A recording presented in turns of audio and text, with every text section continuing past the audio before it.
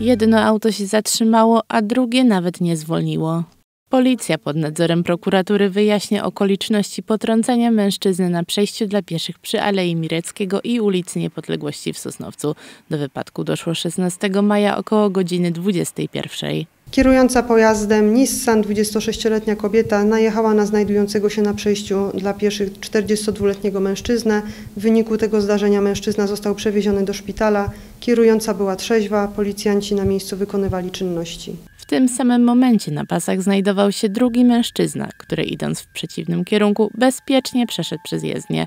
26-letniej kobiecie grozi kara pozbawienia wolności do 3 lat.